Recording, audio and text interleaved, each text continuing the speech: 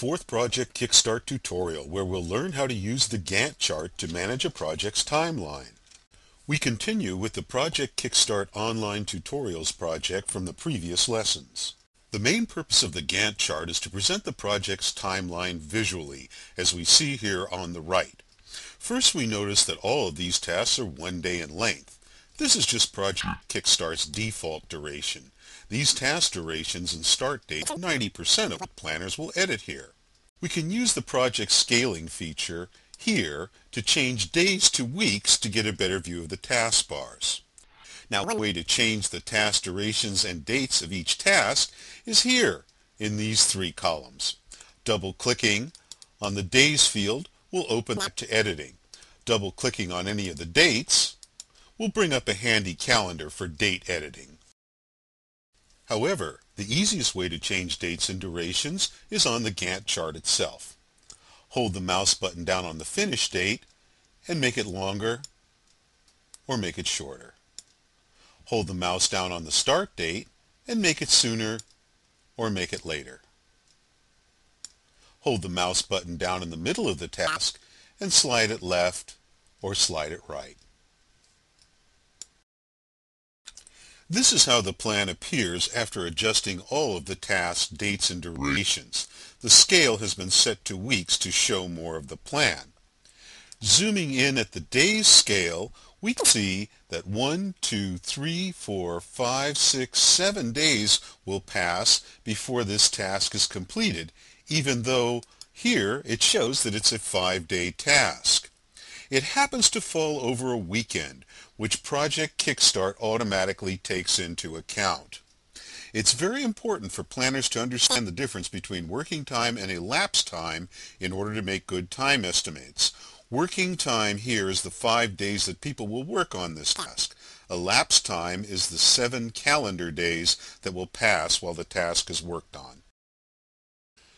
Here is a three-day task that starts on a Wednesday and, as expected, finishes on a Friday. Working time and elapsed time are both three days. Here's another three-day task, like the example we saw before, that starts on a Thursday and ends on a Monday because it straddles a weekend. In this case, however, the planner might reasonably think that if people will come into work on Saturday, they can start a new task on Monday. Clicking on this icon brings up a calendar that allows the user to change working and non-working days. We'll change the 17th to a working day just by clicking on it. And now the task is done in three days. Planners also use the project calendar to change holidays into non-working days.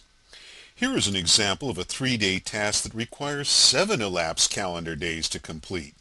This task starts on the Tuesday before Thanksgiving but the planner knows that many in the company will take the following Friday off, so he also made Friday a non-working day. Not because it's an official holiday, but because the planner knows from experience that people are not very productive on the day after a feast. Now let's see how Resource availability plays a critical role in elapsed days. Here is a three-day task that requires 13 calendar days. In this case, the person assigned to the task is an intern who only works half days. The planner knows that a three-day task with a half-time resource will take six days to complete. But the planner also realizes that the intern is not very experienced, so he wisely allows a seventh day for this task. Unfortunately, this task starts on the Wednesday before Thanksgiving and the intern is taking Friday off. After the four-day holiday weekend, the intern returns to work Monday through Friday. Then there is another weekend, and this three-day task finishes 13 days after it started. This brings us to the number one benefit of the Gantt chart, the ability to replan.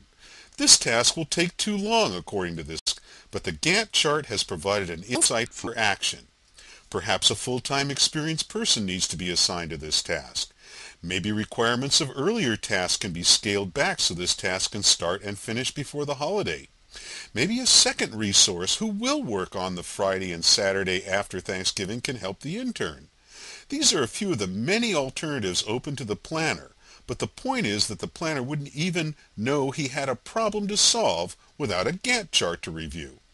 In practice, planners will review the entire Gantt chart to make adjustments that will save time and ultimately money. We have learned about Project Kickstart as a planning tool. Now, returning to the online tutorials plan, we can learn more about how to use it as a project tracking tool. Project Kickstart can track time here in the percent done column. It can track costs here in the cost column.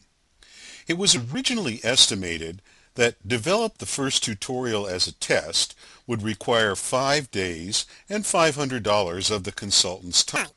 Percent done is zero, indicating the task hasn't started yet.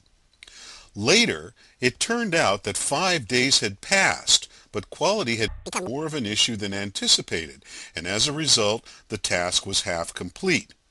The planner clicked on the icon to bring up the task information box in order to make revisions. Percent done was updated to 50% and the cost and time estimates were doubled. A note was also added to explain why the changes were made. Click OK, and we see that the changes are now reflected in the plan. The days have doubled, the percent done is 50, the cost is $1,000, and there's now a bar within the taskbar to show percent complete. The ability to modify any task in this way demonstrates how Project Kickstart functions seamlessly as a project planning and a project tracking tool. Milestones and the color of the taskbars are two final Gantt chart features that can be helpful in planning and tracking. Tasks have durations, so they are spans of time. Milestones have zero duration, so they are points in time. Here is a task identified as sign the contract. But signing a contract will not require one full day. It's really a milestone. So the planner can change this to zero.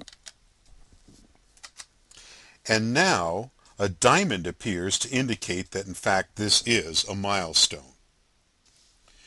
Blue and black are the default colors of Project Kickstart's tasks and phases. Planners can find several uses for changing these colors using this icon. This plan, for example, has four important tasks that require PKS testers. We can highlight these tasks here, here, here, and here. Go to the color palette, change them to purple, and now they really stand out in the plan. Now, Borrowing from the colors of a traffic signal, the planner has used green to indicate that this phase is complete. This phase is still in black, but there are tasks under it that have been completed and are green. This task is yellow to show that it is a task in progress, but it's falling behind, and this task, which is in red, is likely to suffer. The uses of color particularly for task tracking, are limited only to the planner's imagination. We have seen how to use the Gantt chart to plan and track time, percent done, and costs. We've also seen how to add milestones and color to convey additional information. Here, in the File menu, are commands for printing task reports and for printing Gantt chart reports. And here, in the lower right-hand corner, are options for exporting this plan to other programs. We'll learn more about these features and Project Kickstart's uses as a communications tool in the next tutorial.